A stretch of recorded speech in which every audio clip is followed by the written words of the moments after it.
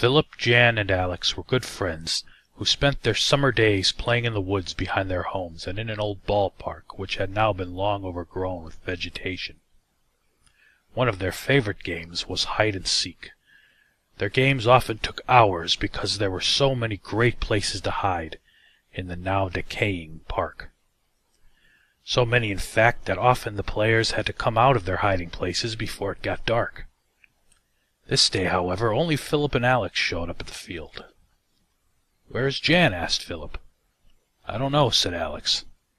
The boys walked to Jan's house to see what was keeping her. What's wrong, Jan? asked Philip. Are you sick or something? Jan looked a bit hesitant. I'm not going to play with you guys at that old ball park any more, she said. We can play here if you'd like, or at one of your houses. The two boys looked amazed. But that is the best place to play, the boy said. You know that, Jan. Jan began to look afraid now. I'm not going, she shouted. Not any more. Let's go without her, said Alex. We don't need her. We can play just the two of us. But Philip knew it would be much harder to play hide and seek with only two people, especially back in that old ballpark. Why won't you come with us? Philip asked. Well, she said, my grandpa was telling me about Shavis Cravis." Who's Shavis Cravis?" Philip asked.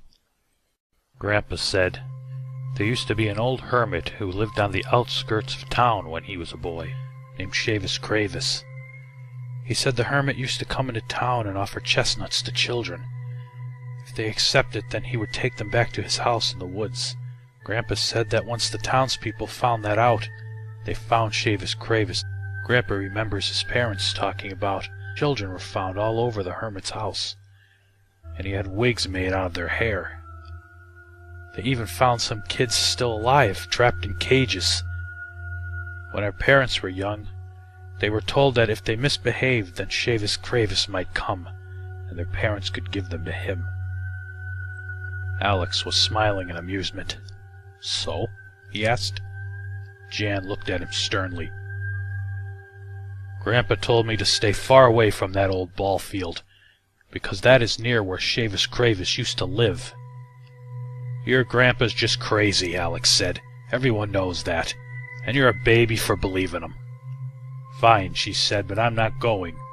Good, said Alex. Let's go, Philip. But Philip didn't move right away, and he looked pale. But Alex grabbed him by the arm and the two boys went to the ballpark. By the time the sun was setting that day, the two boys were having such a fun time playing hide and seek that they had completely forgot about what Jan had told them about the old hermit who once lived there. Let's play one more time before going home, Alex said. Sure, said Philip. I'll hide so well this time, you'll never find me. So Alex started counting, and Philip ran to find a place to hide. Some time passed, and Alex still had not found Philip's hiding place. He looked in all the usual places, but Philip wasn't there. After a while it began to get dark, and Alex started calling to Philip to come out. It was time to leave but Philip didn't answer. Soon the sun was almost down, and Alex began to feel frightened. The trees and rocks took on different forms in the darkness, and the ball field began to feel foreign to him. At the top of his lungs he called out again as loud as he could, but there was still no answer from Philip. Finally, Alex decided that Philip was not here, and he turned to run home, but instead ran right smack into a man who had been standing right behind him. The man grabbed his arm with scaly, bony fingers. Alex stared into the man's eerie face in horror. The man smiled. I have a chestnut for you, boy.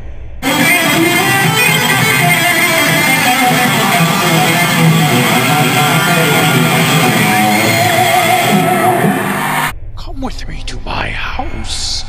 I have many more for you. Alex screamed and broke free of the man's grasp.